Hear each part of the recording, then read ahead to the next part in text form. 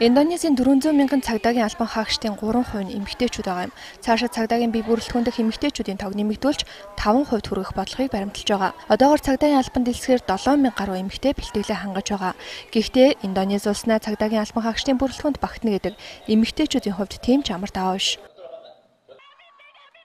Цагдаа болох хүсэлтэй эмэгтэйчүүд юун түрүүнд 17-оос 22 насны гэрлээгүй ахлах сургууль дүүргэсэн байх ёстой. Мөн 165 см-аас дээш өндөртөө бие бэлтрийн хөгжил нүдний хараа сайтай сүсэг бишрэлтэй байх зэрэг ерөнхий шаардлагууд тавигддаг байна. Эдгээрээс хамгийн сонирхолтой нь цагдаа болох хүсэлтэй эмэгтэйчүүд онгон байх ёстой гэсэн шаардлага юм. Индонезийн цагдаагийн газрын цахим хуудсанд бичснээр эрүүл мэндийн үзлэгийн хүрээнд эмэгтэйчүүдийн онгон эсхийг үзэх дотоод үзлэгийг хийж шалгадаг байна.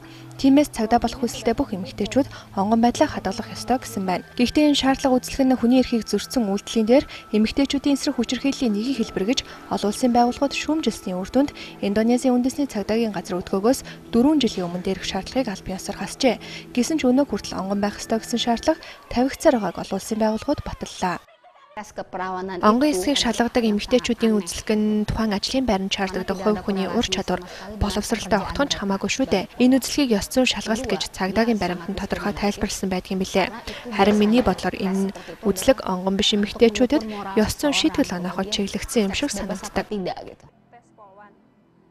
Цагдаагийн албан дэлсгээр шалгалт өгч үзлэгт хамрагдсан эмэгтэйчүүдийн хэлж байгаагаар үзлэхийг эмнэлгийн бус бохир тогтохгүй нөхцөлд хийгийн дээр бие махбод болоод сэтгэл зүйн маш их өвдөлт цочролт оруулдаг байна. Зарим эмэгтэйчүүд энэхүү үзлэгнээс олж дотоод чарах гэмтэлж авч байжээ.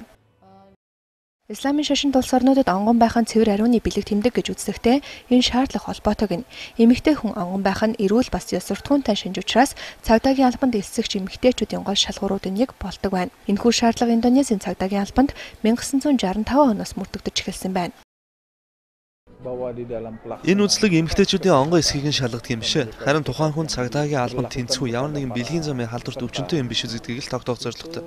Ирчүүд ч гэсэн ийм үзлэгт ордог шүү дээ.